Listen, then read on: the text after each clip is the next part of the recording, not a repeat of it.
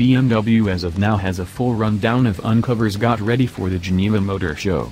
We'll get worldwide unveilings of the new X4, the facelifted 2 Series Active Tourer and Grand Tourer, and M5 competition package, in addition to European uncovers of the X2, M3 CS, and i8 Roadster.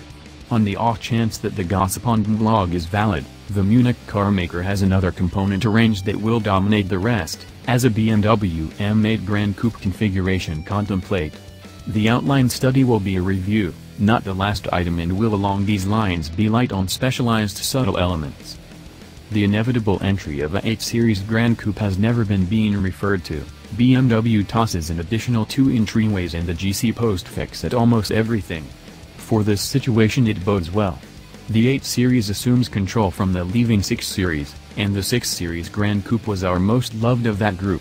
Likewise, the 8 Series needs a contender for flame-breathing, six-figure vehicles like the 605-strength Audi RS7 Sportback and the coming Mercedes-AMG GT4. Best figure so far is that the M8 Gran Coupe configuration study will house the 4.4-liter twin-turbo V8 from the new M5, yet with yield bumped past 600 strength. Another ZF8 speed programmed will drop in to deal with the moving obligations, and Mlog thinks a Generation M8 Gran Coupe could do the dash from 0 to 62 miles for each hour around 3 seconds.